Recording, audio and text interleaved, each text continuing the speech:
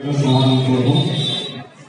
আমরা আমাদের বক্তব্য করতে নেব নাম ঠিকানা যে বক্তব্য থাকে হাত তুলবে আপনাদের কাছে মাইক আমরা করছে যার বক্তব্য তিনি একটু হাত তুলে আমাদের জানাবেন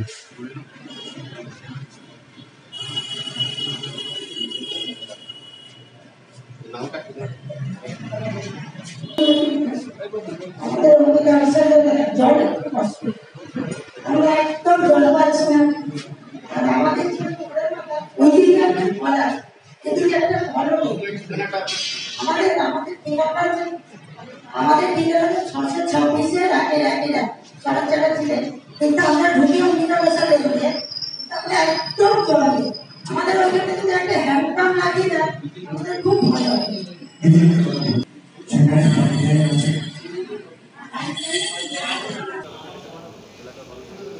অ্যাকচুয়ালি এই যে কর্মসূচিটা, এই কর্মসূচিটা উনত্রিশে জুলাই আমাদের মুখ্যমন্ত্রী ঘোষণা করেছিলেন। তারপর থেকে এই কর্মসূচিটা যেটা সারা হাওড়াতে কেন, সারা পশ্চিমবঙ্গে কর্মসূচি হচ্ছে। এবং আমাদের এই মধ্য হাওড়াতে আমাদের সম্মানীয় বিধায়ক তথা জেলা সভাপতি অরূপ রায় মহাশয় কর্মসূচি শুরু করেছেন। এরই মধ্যে আমাদের অনেকগুলো আর মধ্যহারা হয়ে গেছে।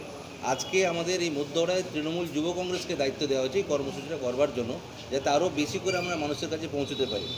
একটা তৃণমূল কংগ্রেস যাচ্ছে আরেকবার তৃণমূল যুব কংগ্রেসের মাধ্যমে প্রোগ্রামটা করা হচ্ছে যাতে মানুষের কাছে আরও আরও বেশি করে পৌঁছানো যায় তাদের সমস্যাগুলোকে দ্রুত সমাধান করা যায় সেই জন্যই আজকের এই কর্মসূচি। মানুষের কি অভিযোগ পাচ্ছেন? কীরকম সাড়া পাচ্ছেন বা এই প্রোগ্রাম অনুষ্ঠান করে অভিযোগ বলতে দেখুন আমাদের মধ্যহরায় বিশেষ করে যেটা আমরা বলব যে যেহেতু আমাদের বিধায়ক তথা মন্ত্রী উনি প্রত্যেক দিন ওনার বাড়িতে সকাল থেকে বসেন দুবেলা সন্ধ্যেবেলাও বসেন। প্রত্যেক দিন ওখানে মানুষজন আসে।